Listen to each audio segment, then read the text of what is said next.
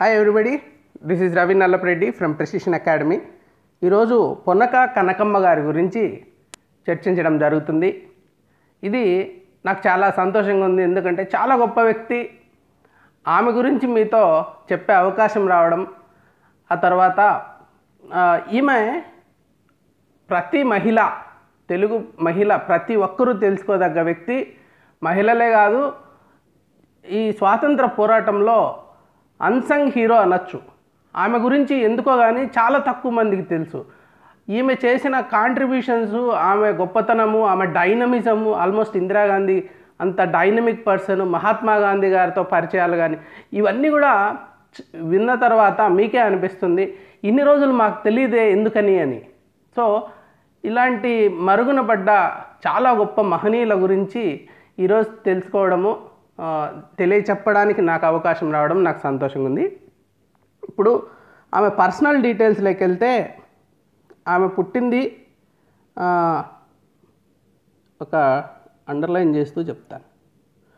So Nellore జిల్లాలో tenth June eighteen ninety two Minagallu అన్న గ్రామంలో పుట్టారు ఆమె. సో పద్దెనిమిది వందల తొంభై రెండులో పుట్టారు. ఆమె తండ్రి గారు మార్పూరు కొండారెడ్డి గారు తల్లి వచ్చి కామమ్మ. అది. ఆమె పెళ్ళి చేసుకోవడం చాలా చిన్న వయసులోనే చేసేసుకున్నారు ఆమె. అంటే ఆ రోజుల్లో అంతే కదా తొమ్మిదేళ్ళు పదేళ్ళు అలాగా. మ్యాటర్నల్ అంకుల్ అంటే మేనమామనే చేసుకున్నారు. తల్లికి తమ్ముడో బ్ర అన్నో అంటారు ఈయన సుబ్ సుబ్బరామిరెడ్డి గారు. చాలా పెద్ద రిచ్ ల్యాండ్ లార్డ్ చాలా ధనవంతుడు చాలా పెద్ద భూస్వామి. పట్లపూడి పొట్లపూడి విలేజ్లో నెల్లూరు జిల్లా. ఆ తర్వాత ఇది ఈమె గురించి పర్సనల్ డీటెయిల్స్. ఇంకా ఎక్కువ డీటెయిల్స్ కావాలంటే ఆమె రాసుకున్న పుస్తకం ఉంది. కనక పుష్యరాగం. కనక పుష్యరాగం. ఇది చదువుకున్నారనుకో ఇంకా ఎక్కువ విషయాలు తెలుస్తాయి. సో ఇదండి ఆమె పర్సనల్ డీటెయిల్స్. తర్వాత పాయింట్స్ వైజ్ చెప్తా వస్తాను. నేను ఒక థర్టీన్ పాయింట్స్ చెప్తాను ఈమె గురించి. చివరిలో టెస్ట్ ఏమంటే ఈ థర్టీన్ పాయింట్స్ మీరు రీప్రొడ్యూస్ చేయగలగాలి. ఆమెకి మొట్టమొదట పదహారేళ్ళ వయసులో ఆతిథ్యం ఇచ్చే అవకాశం వచ్చింది బిపిన్ చంద్రపాల్. బ సతీ సమేతంగా నెల్లూరుకు వస్తే అప్పుడు ఆమె ఇంట్లో ఈమె ఆతిథ్యం ఇవ్వడం జరిగింది. వందే మాత్రం మూమెంట్ అప్పుడు. సో అప్పుడే ఎక్స్పోజ్ అయిందనమాట జాతీయ ఉద్యమాన్ని నడిపించిన నేతలతో ఆ- ఎక్స్పోజర్ వలన ఆమెలో ఉన్న కొంచెం దేశభక్తి ఇంకొంచెము పెంపొందించడము అలాగా ఆమె నేషనల్ ఫ్రీడమ్ స్ట్రగుల్లోకి అడుగుపెట్టడము జరిగిందనమాట అదే కాదు ఆ తర్వాత ఎవరొచ్చినా స్వాతంత్ర సమరయోధులు పెద్దవాళ్ళు ఎవరొచ్చినా వీళ్ళింటికే రావడము ఈమె మంచి హోస్ట్ సో మామూలుగా అందరూ ఫ్రీడమ్ ఫైటర్స్ అంతా మగవాళ్ళే ఉంటారు కాబట్టి ఈ అక్కడ అంత హోస్ట్ అనేది వాళ్ళ భార్యలను బట్టి ఉంటుంది. కానీ ఇక్కడ ఏమంటే ఈమె ఫ్రీడమ్ ఫైటరు ఈమె హోస్ట్ కాబట్టి చాలామందికి ఈమె నెల్లూరుకి వెళ్తే వీళ్ళు ఇంటికి పోవడం అనేది అలవాటైంది. తర్వాత లైబ్రరీ ఉద్యమం గ్రంథాలయ ఉద్యమము ఇది చాలా ముఖ్యమైనది ఆంధ్రప్రదేశ్లో స్వాతంత్రోద్యమానికి సంబంధించి ఆ స్ఫూర్తినిచ్చి ఆ దాన్ని మొదలుపెట్టింది అందరిలో లిటరసీ చదువుకోవడము అనంతా మొదలైన తర్వాత న్యూస్ పేపర్సు తర్వాత గ్రంథాలయాలు. సో ఈ రెండు చాలా ముఖ్యమైన పెనవేసుకొని ఒకదానికొకటి రాజకీయ చైతన్య రగుల్ రగుల్పు రగులు కొల్చడంలో ఇది ప్రముఖ పాత్ర వహించిన గ్రంథాలయ ఉద్యమానికి ఈమె ఈమె తోడ్పాటు కూడా ఉంది. ఈమె బ్రదర్ ఇన్లా పట్టాభి పట్టాభిరామిరెడ్డి అనే ఆయన కూడా సహకారం దొరికింది ఈమెకి. లైబ్రరీ మూమెంట్లో ఆమె సుజన రంజని సమాజం అనేది స్టార్ట్ చేసింది. తర్వాత వివేకానంద గ్రంథాలయం సుజన రంజని వివేకానంద గ్రంథాలయం. ఈ రెండు ఆమె గ్రంథాలయ ఉద్యమానికి చేసిన సహకారం అన్నమాట. ఇవి పొట్లపూడి అక్కడ పెళ్ళి చేసుకునింది కదా అక్కడే ఆమెకి పొలాలు ఉన్నాయి అంతా ఉంది. సో సొసైటీ కోసం అని చెప్పి వివేకానంద గ్రంథాలయం అనేది స్టార్ట్ చేసింది. తర్వాత ఇంకా ఫ్రెండ్స్ కూడా ఉన్నారు. ఆమె ఫ్రెండ్స్ అందరినీ కూడా ఎంకరేజ్ చేస్తే వాళ్ళు కూడా లైబ్రరీస్ స్టార్ట్ చేశారు నియర్ బై విలేజెస్లో అవి ఆ, పొగడదొర్రు తర్వాత కండ్రిగా తర్వాత కొత్తూరు ఇట్లాంటి ఊర్లలో స్టార్ట్ చేశారు. అంటే ఈమె స్టార్ట్ చేసింది వివేకానంద గ్రంథాలయం అయితే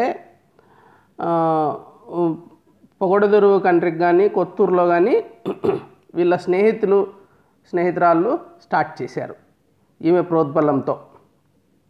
తర్వాత రెవల్యూషనరీ ఆమె. ఇది ఇది చాలా ఆడుగా ఉంటుంది. మామూలుగా సాంప్రదాయ కుటుంబంలో ఒక స్త్రీ బయటికి పోవడమే ఆ రోజుల్లో చాలా డిఫరెంట్ అని అది జరగని పని. అందుకే ఆమె స్కూల్కి కూడా పోలేదు. ఆమె ఎంతసేపు ఇంట్లో కూర్చొని సంస్కృతము తెలుగు అన్నీ నేర్చేసుకునింది. ఇంగ్లీషు హిందీ అది మరి ఆమెకి స్కూల్కి పోయే అవకాశం రాలే. కానీ ఆ తర్వాత మెల్లమెల్లగా ఆమె కొంచెము ఫ్రీడమ్ స్ట్రగుల్లోకి వెళ్ళి ఉత్తేజితురాలు అయిన తర్వాత ఈ లీడర్స్ అంతా కలిసి రెవల్యూషనరీ మూమెంట్ మీద ఆమెకి అప్పటికి ఇంకా గాంధీ గారు ఇన్ఫ్లుయెన్స్ స్టార్ట్ కాలేదు. పంతొమ్మిది వందల పంతొమ్మిదిలో ఎక్కువ ఇంపాక్ట్ మొదలైంది గాంధీజీది. అంతవరకు ఉత్సాహం ఉన్న యువకులు రెవల్యూషనరీ థాట్స్లో ఉండేటి వాళ్ళు. అందుకోసం ఆమె పంతొమ్మిది వందల పదహారు నుంచి పంతొమ్మిది దాకా ఒక just three years spell of revolutionary politics ఉన్నింది. She was under the spell of revolutionary politics ఒక పదమూడు ఎకరాలు కొనుక్కొని ఆమెకు ఆమెకే ఉంది కానీ ఇంకా కూడా కొనుక్కునింది పొట్లపూడి పల్లిపాడులో. తర్వాత నెల్లూరుకి ఎనిమిది మైళ్ళు ఇప్పుడు కలిసిపోయి ఉంటుంది అనుకుంటా. ఒక పెన్నా నది ఒడ్డున రెవల్యూషనరీస్కి ఇచ్చేసింది అది ఫ్రెండ్స్కి ఎందుకు? ఫైర్ ఆర్మ్స్ అన్నీ పెట్టుకోవడానికి ఫైరింగ్ ప్రాక్టీస్ చేసుకోవడానికి. చూడండి ఆమె వాళ్ళతో పాటు ఈమె కూడా చేసేది అనుకుంటాను నేను. ఆమెమో వాళ్ళకి ఇచ్చేసింది అది ఫైరింగ్ ప్రాక్టీస్కి. ఆమెకి అప్పుడు ఎట్లయినా కానీ ఈ రెవల్యూషనరీ ఉద్యమంలో భాగమైపోయి బ్రిటిష్ వాళ్ళని తరిమేయాలా అని చెప్పి ఒక బ్రిటిష్ వాళ్ళని పంపించేయాలా ఎట్లా అంటే అప్పుడున్న అందరికీ తెలిసిన విషయము ప్రపంచమంతా తెలిసిన విషయం అదే కదా. రెవల్యూషనరీ మోడల్లో ఫైట్ చేయాలా అని. కానీ తర్వాత గాంధీ గారు వచ్చిన తర్వాత పూర్తిగా కొత్త విధానాన్ని తీసుకొచ్చారు. సో ఆ తర్వాత ఆమె గాంధీ శిష్యురాలు అయిపోయింది. ఎప్పుడు గాంధీ వీళ్ళ దగ్గరికి వచ్చారు నెల్లూరుకి వచ్చారు. సెవెంత్ ఏప్రిల్ నైన్టీన్ ట్వంటీ వన్లో వచ్చినప్పుడు ఈమె ఫాలోయర్ అయిపోయి పినాకిని సత్యాగ్రహమ సత్యాగ్రహ ఆశ్రమం అనేది స్టార్ట్ చేశారు. గాంధీ గారు సబర్మతి అంటే ఆయన నది ఒడ్డున ఆశ్రమాలు ఆయనకి ఇష్టం. సో సబర్మతి అనేది ఇండియాలో మొట్టమొదట ఆయన స్టార్ట్ చేశారు. తర్వాత ఏమో ఈ పినాకిని సత్యాగ్రహ ఆశ్రమం. ఈమె ఈమె అడిగితే ఇట్లా మాకు ఒక ఆశ్రమం కావాలన్నప్పుడు ఆయన సరే అని ఆయనే స్టార్ట్ చేశారు దాన్ని పినాకిని సత్యాగ్రహ ఆశ్రమం. గాంధీ గారితో ఈమెకి మంచి పరిచయం ఉంది. గాంధీ గారికి ఏమంటే మంచి వాత్సల్యం ఉంది. చాలా ముఖ్యంగా గాంధీ మహిళల్ని ప్రోత్సహించారు. మరి నిమ్న వర్గాల వాళ్ళని ప్రోత్సహించారు. అంతా అప్పర్ క్యాస్ట్ మేల్ కాకుండా బ్రాడ్ బేస్ చేశారనమాట గాంధీ. ఆ భాగం ఆ విధానంలో భాగంగానే ఇక్కడ కూడా ఆంధ్రప్రదేశ్లో మహిళలు ముఖ్యంగా నెల్లూరులో ఆయన ఈ స్టార్ట్ చేయడం దానికి ఈమె ప్రోద్బలము. సో తర్వాత కొంచెం డబ్బులు అవసరం పడితేనేమో గాంధీ గారు చెప్పడంతో పదివేల రూపాయలు ఫైనాన్షియల్ హెల్ప్ కింద ఆల్ ఇండియా కాంగ్రెస్ కమిటీ ఇవ్వడంతో ఇంకా ఇరవై రెండు ఎకరాల ల్యాండ్ కూడా సెక్యూర్ చేసుకున్నారు. సో ఈ రకంగా ఆశ్రమం అనేది ఎస్టాబ్లిష్ కావడము దానికి కనకమ్మ గారు. కనకమ్మ గారు అంటేనే నాకు అనిపిస్తే అది పేరు ఎంత గొప్పగా పెట్టారు. ట్వంటీ ఫోర్ క్యారెట్ గోల్డ్ ఆమె. సో నిలువెత్తు బంగారము కనకమ్మ. అట్లా గుర్తుపెట్టుకోండి మీరు. భారత స్వాతంత్రోద్యమానికి ఆంధ్రప్రదేశ్ ఈ రోజుటి కూడా మనం గర్వంగా మనం ఏం కాంట్రిబ్యూట్ చేసాము స్వాతంత్రోద్యమం అని అంటే పునక కనకమ్మ గారి గురించి చెప్పుకోవచ్చు. అట్లాంటి గొప్ప వ్యక్తి. ఇంకా కూడా ఇప్పటికీ కూడా ఈ ఆశ్రమము ఇప్పటికి కూడా ప్రజలకు ఉపయోగంగానే ఉంది మార్గదర్శకంగానే ఉంది. సో ఎట్లా అంటే అప్పుడు ఏం జరిగేది? The living and teaching in the ashram started on the principles of truth non violence so truth సత్యము అహింస ఆ రెండిటి బేస్ చేసుకొనే ఈ ఆశ్రమంలో టీచింగ్స్ జరిగేటివి దాన్ని ట్రైన్ చేసేటోళ్ళు అనమాట ఇది ఎట్లయితే ఫైర్ ఆర్మ్స్ ట్రైన్ చేశారో రెవల్యూషనర్స్ అట్లే ఈ సత్యాగ్రహము అనేది కూడా ఒక వెపన్. దీంట్లో కూడా ట్రైనింగ్ అవసరం. సో దీన్ని వాళ్ళు ఎదుటి వ్యక్తి ప్రొవోక్ చేసినా కానీ ఎట్లా మనం ఉండాలి? పౌరుషం అన్నా కానీ దేశభక్తి అన్నా కానీ వేరే వాళ్ళని అటాక్ చేయడం కాదు. వేరే వాళ్ళు అటాక్ చేసినా కానీ టాలరేట్ చేసి వాళ్ళలో మార్పు తీసుకురావడం. సో ఈ సత్యం ఏంటి అహింస అని ట్రైనింగ్ ఇచ్చారు ఇక్కడ. చాలా ప్రోగ్రామ్స్ కండక్ట్ చేశారు. మళ్ళీ అక్కడ ఖాదీ కూడా తయారు చేయడము. ఎరాడికేషన్ ఆఫ్ అన్టచబిలిటీ సో ఈ చాలా నీచమైన ఒక పాపం ఒక పాపం అని చెప్పారు Gandhi. Untouchability is a sin పాపమయ్యా ఇది అని చెప్పాడు. ఇది తప్పు అని కూడా చెప్పలేదు. ఇమ్మోరల్ అని చెప్పలే సిన్ అని చెప్పాడు. సో కాబట్టి అన్టచబిలిటీ దానికి పొనక కనకమ్మ గారు చాలా చేశారనమాట సో ఇంకా ప్రాపగేషన్ ఆఫ్ హిందీ కూడా. సో అది మూడు త్రిభాషా విధానంలో ఒక మూడు భాషలు రావాలి అనే విధానంలో హిందీ అయితే ప్రచారం చేయడము నేషనల్ లాంగ్వేజ్ కింద. తర్వాత న్యాచురోపతి ప్రకృతి వైద్యం. దాని మీద కూడా గాంధీ గారు పిల్లలకు కూడా జబ్బులు వచ్చిన వాళ్ళ ఇంట్లో ప్రకృతి వైద్యాన్నే పాటించేటోళ్ళు. So equality of all religions సర్వ మతాలు సమానమే. సర్వ ధర్మాలని మనము గౌరవించాలి అని చెప్పి అది ఉండేది. అడల్ట్ ఎడ్యుకేషన్ కూడా ఉండేది. ఎన్ని కార్యక్రమాలు చూడండి. మొత్తం కాంగ్రెస్ ఫస్ట్ బ్రాడ్ బేస్ చేసుకునింది. అసలు కాంగ్రెస్కి స్వాతంత్రము అంటే పొలిటికల్ ఫ్రీడము బ్రిటిష్ వాళ్ళు వెళ్ళిపోవడమే కాదు. గాంధీ గారికి స్వాతంత్రం అంటే గ్రామాలు స్వతంత్రం కావడము గ్రామ స్వరాజ్యం రావడము అన్ని కులాల వాళ్ళు కలిసిమెలిసి ఉండడము అన్ని మతాలు పరస్పర గౌరవంతో ఉండడము సత్యము అహింస ఆధారంగా సమాజాన్ని నిర్మించడము అది ఆయనకు కావాల్సిన స్వాతంత్రం అన్నమాట. ఇది ప్రస్తుతానికి ఇండియన్ రెడ్ క్రాస్ సొసైటీ నెల్లూరులో ఇప్పటికి కూడా అది పనిచేస్తూనే ఉంది. ఇప్పటికీ అక్కడ యాక్టివిటీస్ నడుస్తున్నాయి. తర్వాత డీ అడిక్షన్ క్యాంప్స్ రన్ చేస్తుంటారు ఇక్కడ. ఎవరైనా కానీ అడిక్ట్ అయినారనుకోండి డ్రింక్స్కి. సో వాళ్ళందరికీ క్యాంప్స్ రన్ చేయడము అట్లాంటివి కూడా ఉన్నాయి. సో ఇప్పుడు కూడా చాలా యూస్ఫుల్గానే ఉంది. చూడండి ఎంత బాగుందో ఎంత ప్రశాంతంగా. పినాకిని సత్యాగ్రహ ఆశ్రమము గాంధీ గారు వచ్చి దాన్ని స్టార్ట్ చేసిండేది పొనక కనకమ్మ గారు. ఆధ్వర్యంలో నడిచిన ఆశ్రమం ఇది ఆమె ప్రోద్బలంతో ఆమె ఇనిషియేటివ్తో. పచ్చటి ఈ ప్రకృతి ఒక నది పక్కన నది ఒడ్డునుంది తర్వాత ఇంకా ఫ్రీడమ్ స్ట్రగుల్ గురించి ఏంటి అంటే ముఖ్యమైనటివి ఆ టైంలో non cooperation movement salt satyagraha. Salt satyagraha అంటేనే women participation so role of women in Andhra Pradesh అంటే కూడా ఈమె గురించి ప్రముఖంగా మనం రాయాలి. ముఖ్యంగా ఈమెతో పాటు ఎంతోమంది అంటే కొన్ని వేల మంది నెల్లూరు జిల్లాలో స్త్రీలు స్వాతంత్రోద్యమంలో పాల్గొన్నారు. సో అది. సో నాన్ కోఆపరేషన్తో మొదలుపెట్టి సాల్ట్ సత్యాగ్రహంలో చాలా మంచి లీడర్షిప్ తీసుకున్నారు కనకమ్మ గారు ఈ జిల్లాలో. స్త్రీలే కాదు పురుషులు అందరినీ కూడా ఆమె ఈ సాల్ట్ సత్యాగ్రహాలో పార్టిసిపేట్ చేయించారు తర్వాత ఆమె జైలుకు కూడా వెళ్ళారండి. ఏమి? సిక్స్ మంత్స్ రిగ్రెస్ ఇంప్రెషన్మెంట్ థర్టీలో నైన్టీన్ థర్టీ రాయవెల్లూరులో. తర్వాత థర్టీ టూలో మళ్ళా రాయవెల్లూరులో పదమూడు నెలలు. సో ఇన్ని నెల ఇంత రెండు సార్లు ఇంత ఇంత టైం ఆమె జైలుకు కూడా వెళ్ళారు. ఆమె కో ప్రిజనర్స్ ఎవరో చూస్తే స్వాతంత్ర పోరాటంలో ఈమె ఏ రేంజ్లో కనెక్షన్స్ ఉన్నాయి ఏ రేంజ్లో ఇంటరాక్షన్స్ అవేర్నెస్ ఉండేదో అర్థమవుతుంది. రాజాజీ గారు దుర్గవే దేశ్ముఖ్ బెజవాడ గోపాల్ రెడ్డి ఇలాంటి గో మహామహులు మరి వాళ్ళందరితో పాటు ఈమె ఆ జైల్లో ఉండడం కూడా జరిగిందనమాట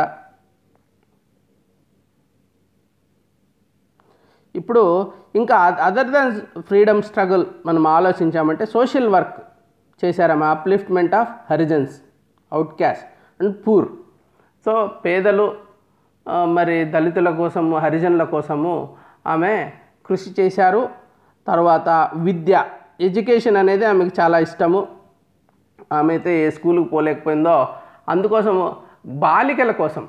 ఎందుకంటే సబ్ అంతా కోయిడ్ అంటే అప్పుడు పంపించేటోళ్ళు కాదు. ఈమె కూడా చదవలేకపోయింది. అందుకోసమే బాలికల కోసమే చెప్పి కనకమ్మ శ్రీ కస్తూరిదేవి విద్యాలయం. సో కస్తూరిబా పేరు మీద పెట్టారనమాట శ్రీ కస్తూరిదేవి విద్యాలయం గర్ల్స్ కోసం. గాంధీజీస్ కన్స్ట్రక్టివ్ ప్రోగ్రామ్ కింద పెట్టారు ఆ దాని స్కూల్ని.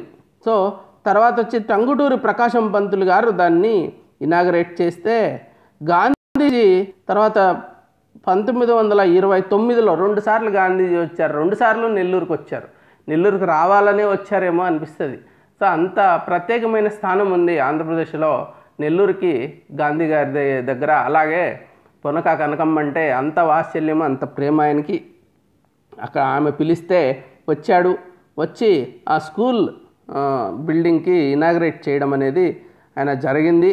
సో ప్రకాశం పంతులు గారు ఫస్ట్ ఒక ఫౌండేషన్ స్టోన్ వేస్తే గాంధీజీ ఆ బిల్డింగ్ ఓపెనింగ్కి రావడం. ఇది చాలా గొప్ప విషయాలండి చరిత్ర మన చరిత్రలో ఆంధ్రప్రదేశ్ చరిత్రలో ఈ విషయాలు మనం తెలుసుకోవాలా.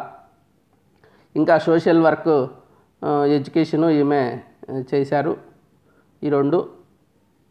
తర్వాత ఏమో ఇప్పటికీ కూడా ఇప్పటికీ కూడా చూడండి ఇది గాంధీ గారు నూట యాభైయో జన్మదినం సందర్భంగా చేసిన కార్యక్రమం వాళ్ళ స్టాచ్యూ ఉంది అక్కడ. తర్వాత ఈ స్కూల్ బిల్డింగ్ అది. తర్వాత యాన్యువల్ యాన్యువల్ డే రోజు. సో యాన్యువల్ డే రోజు ఇలాగా ఇస్కాన్ వాళ్ళు వచ్చి ఆ కార్యక్రమం చేయడం ఎంత పెద్ద హాల్ ఉంది వీళ్ళ దగ్గర. తర్వాత అలయన్స్ క్లబ్ యాక్టివిటీసు. సో ఇది రెగ్యులర్ స్కూల్ ఇప్పుడు గర్ల్స్కి ఇప్పటికీ ఎంతోమంది వేల మంది విద్యార్థినులు ఈ స్కూల్లో చదువుకోవడం జరిగింది విద్యావంతులు కావడం జరిగింది. సో స్త్రీలలో నెల్లూరు జిల్లా ప్రముఖంగా చాలా యాక్టివ్గా ఉంటారు లేడీస్. ఎందుకంటే ఒక ముఖ్య కారణం కూడా పొనక కనకమ్మ గారు అనుకోవచ్చు. ఎందుకంటే అప్పటి నుంచి స్కూల్ పెట్టి అందరినీ విద్యావంతులను చేయడం వలన కూడా ఒక కారణం అది. తర్వాత ఇంకా ఏం చేశారామంటే ఆమె లిటరరీ చాలా రాశారనమాట చాలా మ్యాగజైన్స్లో వచ్చాయి. లైక్ భారతి భారతిలో ప్రచురణ కావడం అంటే మామూలు విషయం కాదు అది కృష్ణా పత్రిక గృహలక్ష్మి అనసూయ హిందూ సుందరి జామీన్ రైత్ జామీన్ రైత్ అయితే ఆమె స్టార్ట్ చేశారు. షీ అంటే ఫార్మర్స్ కోసం అని చెప్పి జామీన్ రైతు అనే తెలుగు వీక్లీని ఆమె సపోర్ట్ చేశారు. ఎందుకంటే ఆ రైతుల యొక్క కష్టాలకి ఆమె చెల్లించిపోయి ఒక ఉద్యమాలు అనమాట జామీన్ రైతు ఉద్యమం కోసము ఒక మూమెంట్ నడిచింది.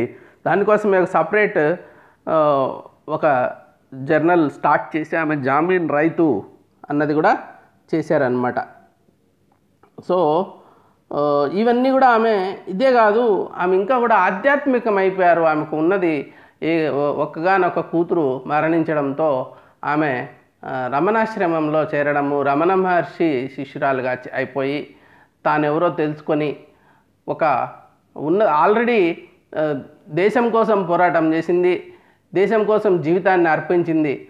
ఆమెమో చివరిలో అసలు తను ఎవరు అని తెలుసుకున్న తర్వాత నేనెవరు అని అర్థం చేసుకొని ఆధ్యాత్మికంగా ఆత్మ సాక్షాత్కారం పొందిన తర్వాత ఎన్నో గ్రంథాలు ఆమె స్పిరిచువల్ బుక్స్ చాలా రాశారు ఎక్కువగా. అలాగే ఇంకా ఇండస్ట్రీస్లో వాళ్ళ కోసం ట్రైనింగ్ సెంటర్స్ కూడా రన్ చేశారనమాట ఇండస్ట్రీస్లో ఆర్ఫన్స్ కోసం అండర్ ప్రివిలేజ్డ్ ఉమెన్ ఆమెకి అండర్ ప్రివిలేజ్డ్ ఉమెన్ అన్న బాలికలన్నా చాలా ప్రత్యేక శ్రద్ధ పెట్టి వాళ్ళందరి కోసం అని చెప్పి ఇండస్ట్రియల్ ట్రైనింగ్ కుట్టు పనులు ఏవో పనులు అనమాట సో ఎన్నో ఎన్నో రకమైన ఇండస్ట్రియల్ ట్రైనింగ్లు ఆమె ఇంకా వేరే ఇండస్ట్రియల్ ట్రైనింగ్ కూడా ఇప్పించడం అది అహెడ్ ఆఫ్ ఆర్ టైమ్స్ అనొచ్చు. సో అప్పుడే ఇప్పుడు ప్రభుత్వాలు చేస్తాండే పని అప్పుడు ఒక వ్యక్తిగా ఆమె చేశారు. సొంత డబ్బులు సొంత ఆస్తి సో చాలా పెద్ద రిచ్ పీపుల్ అనమాట వీళ్ళు. సో ఇది ఈమె గురించి ఒకసారి రీక్యాప్ చేసుకున్నాం. ఫ్రీడమ్ స్ట్రగుల్లో ఆమె ఫస్ట్ బిపిన్ చంద్రపాల్ సతీ సమేతంగా వీళ్ళింటికి రావడము అప్పుడు ఆమెకు ఎక్కువ ఎక్కువ అవగాహన జరగడము ఇదేంటి దేశంలో ఏం జరుగుతుంది ఇవందే మాత్రం ఉద్యమం ఏంటి బెంగాల్ విభజన ఏంటి అన్నీ అర్థమైనాయి. తర్వాత గ్రంథాలయ ఉద్యమము తర్వాత రెవల్యూషనరీ నైన్టీన్ సిక్స్టీన్ నుంచి నైన్టీన్ దాకా రెవల్యూషనరీ మూమెంట్లో పార్ట్ అయ్యి ల్యాండ్ ఇచ్చి ఫైర్ ఆర్మ్స్ కోసము ఇవ్వడం కానీ తర్వాత ఆశ్రమం గాంధీ గారి స్పెల్లేకి వచ్చేసారు నైన్టీన్ నైన్టీన్ అప్పటి నుంచి ఇంకా ఆమె చనిపోయేదాకా నైన్టీన్ సిక్స్టీ టూ అనుకుంటా. అంతవరకు ఆమె ఆ, ఆ పద్ధతిలోనే ఆ దారిలోనే వెళ్ళింది. తర్వాత నాన్ కోఆపరేషను సాల్ట్ సత్యాగ్రహ ఉప్పు సత్యాగ్రహము స్వాతంత్ర నిరాకరణ ఉద్యమం. ఈ రెండిట్లో కూడా చాలా యాక్టివ్గా పార్టిసిపేట్ చేసి రెండుసార్లు జైలుకి వెళ్ళింది రాజాజీ లాంటి వాళ్ళతో కలిసి అక్కడ బెజవాల గోపాల్ రెడ్డి గొప్ప గొప్ప వాళ్ళతో ఆమె అప్- అలా ఉండడం వల్ల ఇంకా ఏమైందంటే ఇంకా ఎక్కువ డిస్కషన్స్ వాటి మీదనే మన దేశం ఎలా అభివృద్ధి చెందాలి మనం ఏమి మార్పులు తీసుకురావాలి ఎలా చైతన్యవంతులు చేయాలి ఇదే చర్చ ఉంటుందన్నమాట వాళ్ళకి. ఇప్పుడు ఇందిరాగాంధీకి అంత అవేర్నెస్ ఎట్లా వచ్చిందంటే నెహ్రూ ఎప్పుడు లెటర్స్ రాయడము ఆమెకు అన్ని చెప్పడము ఎక్కడ పోయినా తీసుకుపోవడము ఆమె గాంధీ గారితో ఒక పరిచయాలు కానీ అంత. అలాగే ఈమెకు కూడా సత్సాంగత్యం అంటాం కదా అలాగ దేశభక్తులతో సాంగత్యం ఎక్కువ ఉన్నిందనమాట ఆమెకి. తర్వాత సోషల్ వర్క్ విషయానికి వస్తే ఆమె upliftment of the down రాడాను untouchability గురించి తర్వాత ఎడ్యుకేషన్ శ్రీ కస్తూరిబా విద్యాలయ స్టార్ట్ చేయడము. నెల్లూరులో కొన్ని వేల మందికి ఇప్పటికీ అది వెలుగు చూపిస్తుంది వెలుగునిస్తుంది దారి చూపిస్తుంది. తర్వాత లిటరేచరు మెయిన్లీ స్పిరిచువల్ లిటరేచరు తర్వాత జామీన్ రైతు తర్వాత ఎన్నో భారతి లాంటి జర్నల్స్ మ్యాగజైన్స్ డైలీస్ అన్నిట్లో కూడా ప్రచుర ప్రచురితమయ్యేటివి.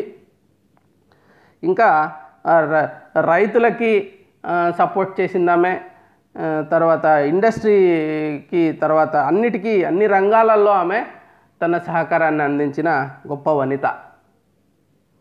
ఇప్పుడు మీరు ఒప్పుకుంటారనుకుంటా ఎంత గొప్ప వ్యక్తిమే మరి ఇన్ని రోజులు మనకు తెలియకపోవడము అది మన అజ్ఞానము ఆమెని స్మరించుకోవడము మన బాధ్యత. ఇప్పుడు ఏం చేస్తారంటే ఒక రీప్రొడ్యూస్ చేయండి నేను చెప్పిన దాన్ని. రీప్రొడ్యూస్ చేయడం అంటే ఫస్ట్ పాస్ చేసేయండి ఇక్కడ. పాస్ చేసేసి సబ్ హెడింగ్స్ అన్నీ రీప్రొడ్యూస్ చేయండి. పదమూడు ఉన్నాయి. పదమూడు సబ్ హెడింగ్స్ బయటికి రావాలా.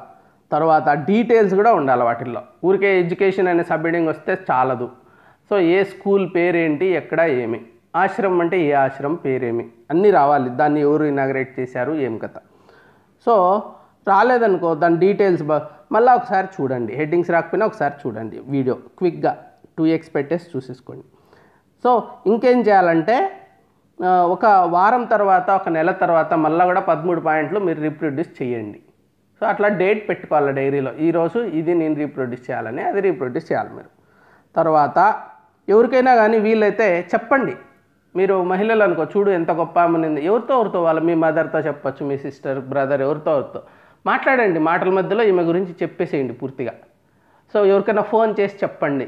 అలా చేస్తే మీరు కూడా చెప్పినట్టు ఉంటుంది మీకు కూడా మా- బాగా చూడకుండా మాట్లాడి మాటల్లో భాగంగా అయిపోతే it becomes part of you exam కోసం కాకుండా జీవితం అంతా మీకు గుర్తుండిపోయేలాగా చేసుకోవాలన్నమాట. So thank you for joining me for this session and listening to me ఈరోజు కనకమ్మ గారి గురించి ఎన్నో మంచి విషయాలు తెలుసుకున్నాము. ఇలాగే మరొక uh, దేశభక్తుడు మరొక మహనీయుల గురించి నేను నెక్స్ట్ సెషన్ స్టార్ట్ చేసినప్పుడు రండి. అంతవరకు సెలవు. Thank you.